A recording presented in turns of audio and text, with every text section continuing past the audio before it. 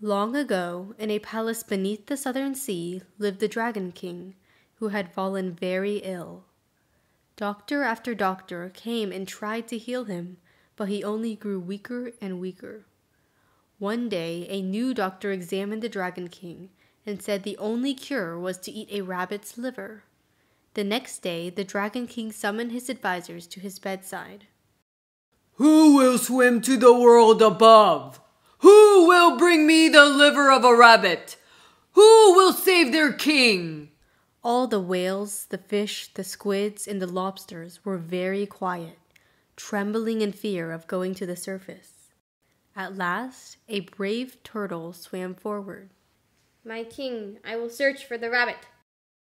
With the Dragon King's blessing, the turtle traveled from the bottom of the southern sea to the land above. When he arrived on the shore, he spotted a furry animal hopping on its hind legs. Excuse me, sir. Are you a rabbit? The rabbit responded, Yes, I am. Why do you ask? His Majesty, the Dragon King, sent me to invite a rabbit to his palace under the sea. The turtle said. The rabbit replied, I'm honored by the invitation, but I cannot swim. The water would get in my eyes and clog my ears. How would I breathe down there? The turtle chuckled. Oh, do not worry, my friend.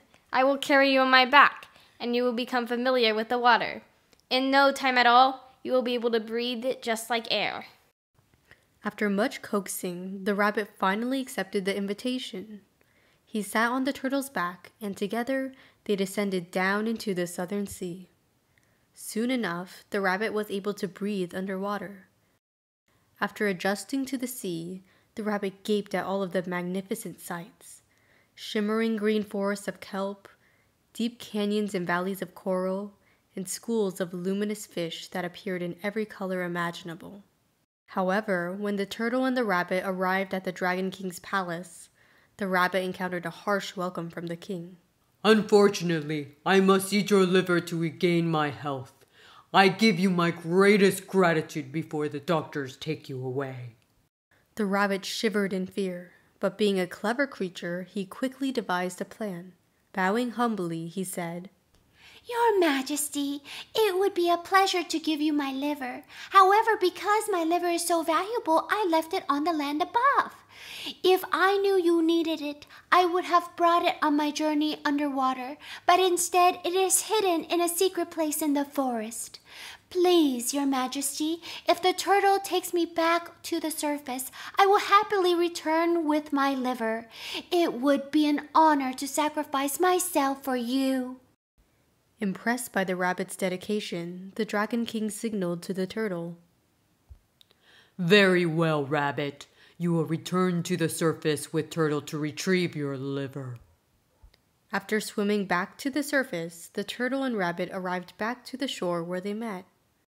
Quickly leaping off the turtle's back, the rabbit said, Thank you for the ride.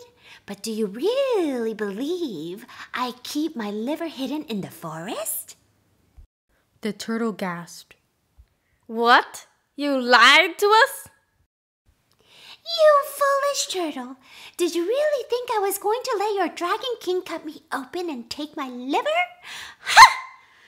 And the clever rabbit hopped away into the forest.